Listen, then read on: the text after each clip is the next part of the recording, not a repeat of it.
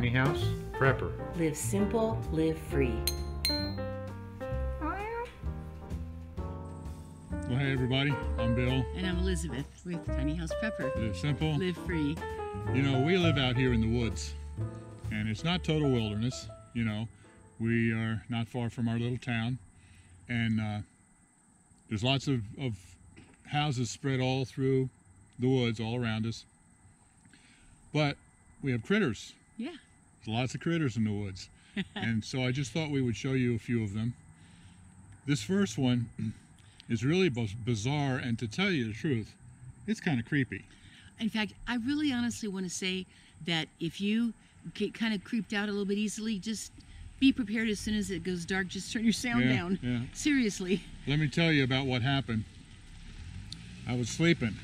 It was the middle of the night. It was the middle of the summer. This was a couple months ago, and I had my window open. And our bed is situated where our head is right at the window. I can just reach up when I'm laying there. I can reach up and touch the screen. So the window was open and the screen was there, and all of a sudden I heard this noise, something out in the woods. Never heard anything quite like it before. So I grabbed my cell phone and I pointed it out there to try to record it. And of course, it was in the middle of the night and it was dark. Very dark. So what you're going to see is nothing but black uh, because it was filmed at night. But you will be able to hear the sound. And like I said, it's creepy. Yeah. It just I want to be real honest. Yeah. None of the rest of this stuff's going to be this this wild, but and and, and there's, this isn't a person, so nobody's out there suffering. Right. So okay. so here it is. See what you think.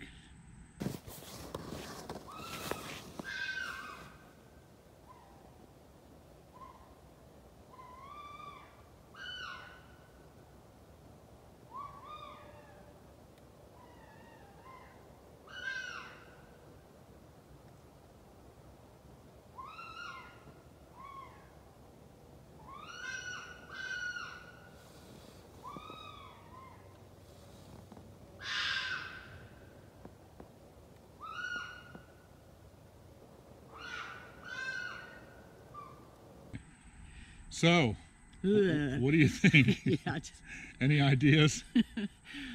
we we've looked up like uh, what are those cats called? Um, We looked up a variety of different kinds of cats, bobcats, Fisher Fisher cats. fisher cats, but they're north. they're in North America, but they're mostly in Canada. Meerkats, but they're only in South Africa. um, red foxes, coyotes, um, Bobcats, the big cats, wolves. yeah, panther. and for every single cougar. one, we've been able to find their scream, and nothing was like what we just heard. yeah, so We just can't figure it out. So, Yeah. you know, I've lived uh, in the woods most of my life, and I've done an awful lot of backpacking and yeah, mountaineering have. and Yeah, tent camping, wilderness tent camping, and all that kind of stuff. Never any fear of, of animals in the woods. But when I heard this, it raised the hair on the back of my neck. Boy, it was just really creepy. And if I was in a tent, yeah. We it just must be some kind of an animal. yeah, you know, obviously and, uh, some kind of an animal. But wow. there's one scream where it sounds the loudest, where it almost sounds a little bit like a cat. But, but- then the rest of it, sounds like a screaming woman. but, but it's not. There's nobody getting hurt out there or No. anything. So, No. yep. Anyway, So- yeah, that was like our first. But that's the, that was the big dramatic one. Right. so then this next one, these are just a nuisance. and this was uh, filmed out of my window also. Uh, oh, I wanted to mention everything we're going to show you here. It was either filmed from the house out out through the window or within about 10 feet of our house. Yeah, everything was right here. Yeah. So this one was filmed out the kitchen window, and unfortunately, the camera f- um, focused more on the screen than it did on the animal on the window screen. And we've shown we've shown one of these before. Yeah, but these are just a nuisance, and all, all I do is just chase them away. yeah, just don't get between a mom and a baby, Right. and they really aren't any trouble. In fact, they're quite beautiful. Get out of here.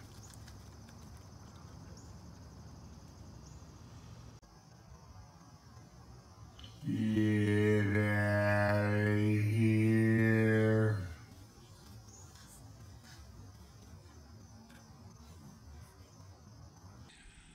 Right. Well, if you couldn't tell through the screen, that was a black bear, Right. Yeah. and they love to get in our trash. And the trash is outside, right below the kitchen window, and uh, that's what he was going after. So I yelled out the window and chased him away. right? They'll just run off. You just don't want to get between a mom and a cub. But Right. other than that, they'll just they'll just run off. Yeah. We don't. They don't ever really hurt anybody that we know of. You know. So they can get pretty big too Mm-hmm. and beautiful. Yeah. Now this next one, these are so cute, but they're really dangerous. Well, yeah, they- can be so destructive in their super cute way. Right. So we had just fired up our wood stove for the first evening of the season, and it, Just a few days ago. and it really wasn't quite cold enough yet for the wood stove, and it got really hot inside. So you know, wood stove has there's no thermostat, so the only thing you can do is open doors and windows. So we opened the door. We had the door wide open, but we had the screen door closed, and all of a sudden, we found this visiting us. Yeah, I looked up and I thought a cat was on the front porch, and then I said, "Oh!" And I grabbed my phone really fast. yeah, we had we had this pretty cute visitor. I don't think it's very old, No. just kind of an older teenager maybe or Right. something like that. he could jump up and try to come through that hole. That would scare the crap out of me. I'll be real honest with you.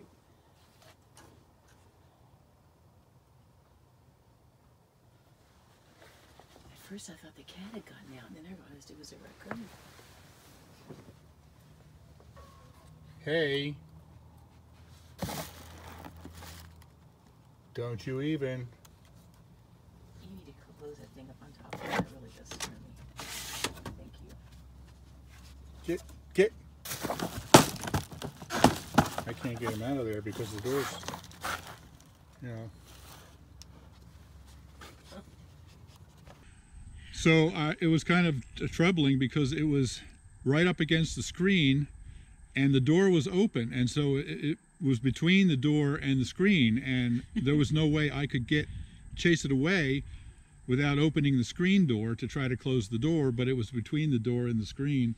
And you know, raccoons aren't like horribly aggressive, but you don't want to. I mean, they are a wild animal, and apparently they can carry rabies. Oh, they did definitely carry carry rabies and they, and they do bite. So, So if he's trying to Yeah. protect himself, we you know we don't take it for granted that that is a wild animal, and you don't want to mess with it. Right. So, oh my goodness, Leo. Of course, we kept him away so he wouldn't go after the screen. Yeah. And um, right after the raccoon left, Leo was like sniffing right up at the screen and looking.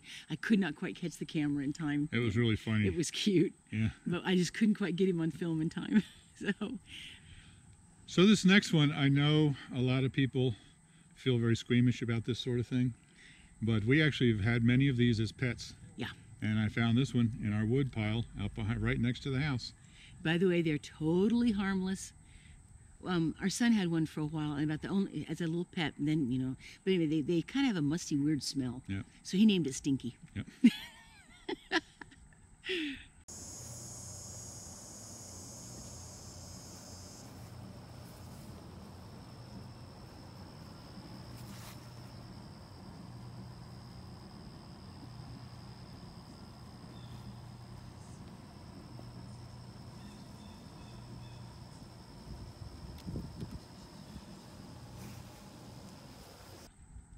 Okay, so obviously that was a snake, a little garter snake. Yeah, it's a garter snake. It was fine. We have them in our wood pile and they keep the mice away, which is cool. Yep. People think they're garter, G A R T E R, but they're actually gardener. Yeah. Gardener snakes. Gardener snakes. Right. Yep. So, and like she said, the only danger of them is if you pick them up, they have a musty smell and that stink gets all over your hands. Right. Yeah, they're not going to hurt anybody. So now this next one was really cool. I've never seen anything quite like it. And it was right there by the house. It was right, also right near the woodpile. And look closely and see how close I have to get to the with the camera before you can even see it. Right. The the camouflage is amazing. And then notice how still it stays, and that's why the camouflage is so amazing. right. Yeah. Don't stop looking, because all of a sudden you'll realize what he's actually filming. Right.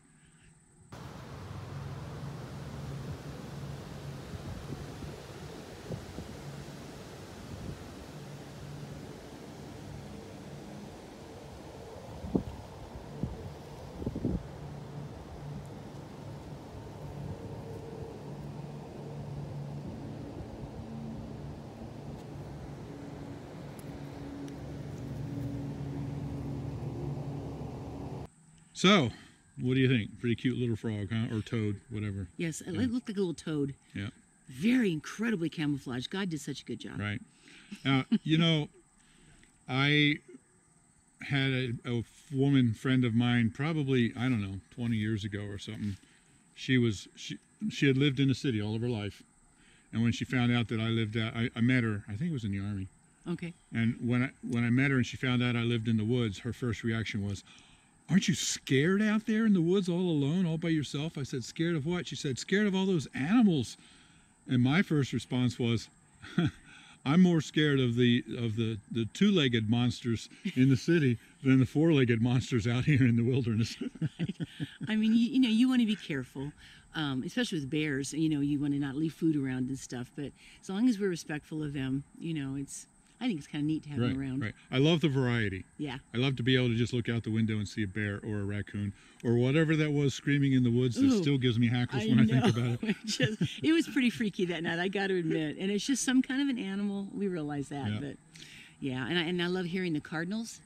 Um, you can hear them sing, and the beautiful red birds, and we'll get beautiful blue birds, and Cardinals, they chant, right? No? I'm talking the bird, you know, Oh, the, the red okay, okay. birds, yes, the cardinals. so, yeah, and of course there's deer everywhere.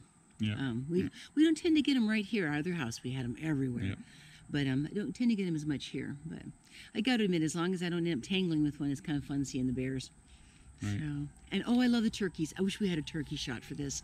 We just don't happen to have one. we don't have, right I now. don't know that we see many turkeys around here. We used to see them all the time at our last house. Right, and and they they actually gobble and They really do that. and they're so cute with the babies and I, yeah i like the Yeah, turkeys a yeah. lot and of course the geese are flying over in huge droves now so it's kind of neat so there's our little critter critters, our little corner of the of the zoo. Yeah. Corner of the wilderness. yeah I hope you've enjoyed it. and of course we have our big big cat inside Right, Leo. Yeah, we didn't include him because he's not um, wild. yeah no he looks like he could be but oh my goodness he's the gentlest thing there ever Yeah, was yeah. So, all right all right, everybody. Thanks for watching. yeah live simple Live free. all right we love you we'll see you soon Be blessed. okay Hey. Don't you even.